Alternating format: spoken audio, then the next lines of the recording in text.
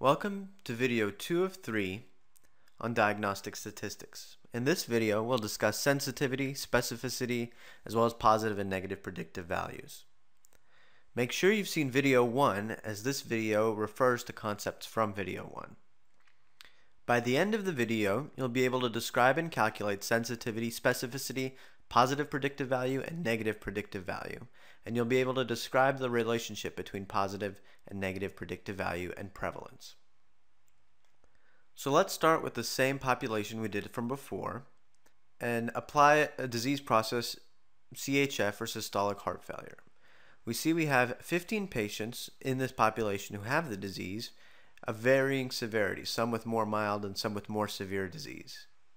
The trick is we don't know which 15 patients they are. And so we need some sort of test that'll help us decide if this patient we're talking about actually has the disease or doesn't.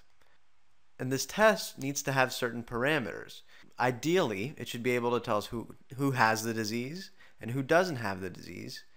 We should also be able to know how much we can trust a positive answer for a test and how much we can trust a negative answer. No test in medicine is 100% perfect, and no test will perfectly be able to tell you if a patient does or doesn't have a disease. Just like last time, we have a patient disease spectrum. In red, we see patients from very mild to very severe disease, and in blue, we see patients without disease. They can have absolutely no symptoms, or they may start having very early disease, and there is some overlap.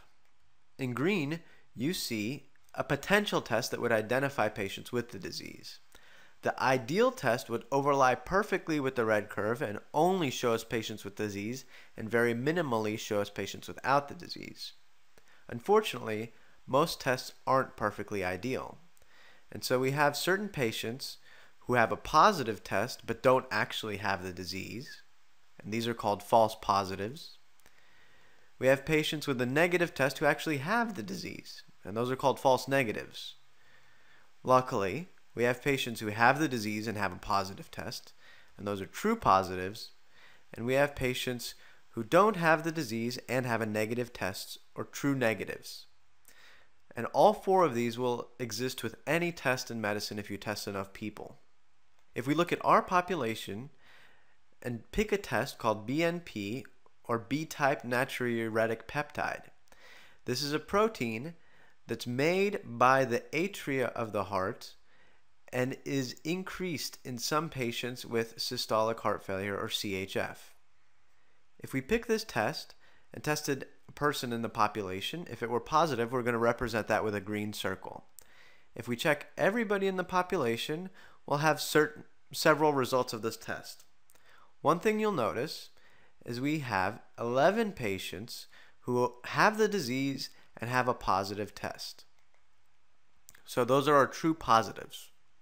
We also had three patients who had a positive test but didn't have the disease. We have four patients who have the disease but didn't get caught, and you'll notice these tend to be the patients with milder disease, and these are our false negatives. And lastly, we have 82 patients who didn't have the disease and had a negative test. So we have 82 true negatives. That's important information, but that doesn't help us to decide how much we trust the test. There are certain statistical parameters we can determine based on this information. In order to do that, we organize the information into a 2 by 2 table with those positive or negative for the disorder on the x-axis and positive and negative for the test on the y-axis. If we fill in our values, the table would look like this. Let's go to our first descriptive statistic, something called sensitivity. Sensitivity answers the question, did we catch everyone with the disease? Or it's the percentage of people with the disorder who have a positive test. The way to calculate that is take everybody with the disorder, true positives plus false negatives, and divide people with a positive test by that number. In this case, our sensitivity is 73%. A way to look at the graph of a very sensitive test would be a, a test that captures everybody in red. And a test that's very sensitive has more true positives, but also more false positives. It has fewer false negatives and true negatives. Because it has fewer false negatives, a sensitive test is very good to rule out a disease when it's negative.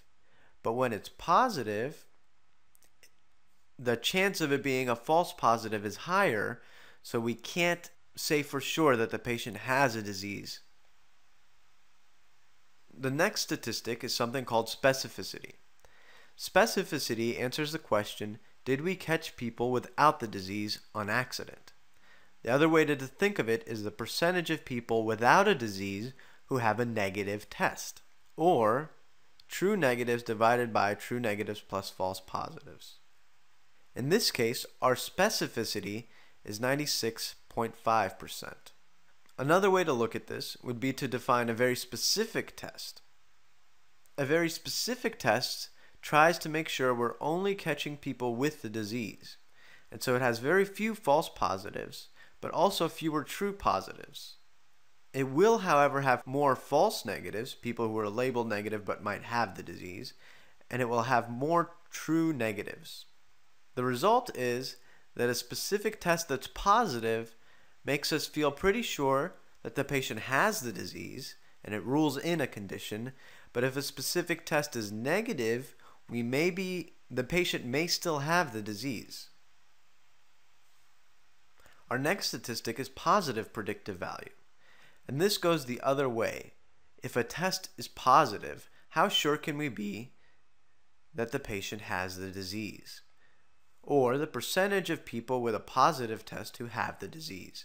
This is true positives divided by true positives plus false positives. And in this case, it's 79%. The other version of this is the negative predictive value. Or if a test is negative, how sure are we that the patient doesn't have the disease? or the percentage of patients with a, with a negative test who do not have the disease. This would be false negatives divided by true negatives plus false negatives, and in our population, it's 95%. It's important to note that prevalence has an important effect on positive and negative predictive value. So this is our study parameters, and we can see that we have 15 people out of 100 with the disease which is a 15% prevalence. And these were our results for this test in that population. But say we were looking for heart failure in a cardiology clinic. We might have a much higher prevalence, up, up around 85%. So if we put those numbers in and take the sensitivity of the test, we could tell that we would probably have 62 true positives and 23 false negatives. If we take the specificity of the disease, we could see we would have one false positive and 14 true negatives. So the sensitivity and specificity wouldn't change. But if we try and calculate the positive predictive value, it would be 62 divided by 63, which is 98%, a big increase from before. And the negative predictive value is 22 out of 37, which is 62% all of a sudden, just because we changed the prevalence of the disease, the positive predictive value increased and the negative predictive value decreased. This is important to note. Let's say we took a test that was just a coin flip and flipped a coin at random. If we had a population where every single person had the disease and we flipped a coin, every time the coin said the patient has the disease, it would be right. If we have a population where nobody has the disease every time the coin says that a patient has the disease, it's wrong. So the prevalence of a disease affects the positive and negative predictive value regardless of how good or bad the test is. Increasing prevalence increases positive predictive value and decreases negative predictive value. Increasing the prevalence of a disease without changing the severity of a disease has very little effect on the sensitivity and specificity of a test. So from this talk, you should know that a sensitive test that is negative is useful to rule out a disease. You should also know that a specific test that is positive helps rule in a disease. Also, sensitivity and specificity do not depend on prevalence. They only depend on disease severity and test parameters. On the other hand, positive and negative predictive value depend on the test specifically, as well as on the disease severity and prevalence. The next step will be combining the information we learned from the first talk on the prevalence of a disease in a population, as well as the pretest probability and treatment and testing thresholds, with the parameters that we learned about these tests to take care of our patient and help make evidence based decisions about the patient's care.